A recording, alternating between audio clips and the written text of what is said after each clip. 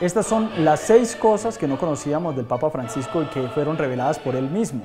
Una de ellas, no duerme más de seis horas. Otra bastante curiosa, no ve televisión, dice que desde 1990, como parte de una promesa que hizo la Virgen del Carmen, solo lee un diario, La República, un periódico italiano, y dice que no le lleva más de 10 minutos echarle una ojeada. Tampoco navega en internet, nunca ha visto jugar a Lionel Messi, esto como parte de la promesa de no ver televisión que mencionaba anteriormente. Sigue a San Lorenzo a través de un guardia suizo porque dice que nunca ha dejado de seguir al equipo de sus amores.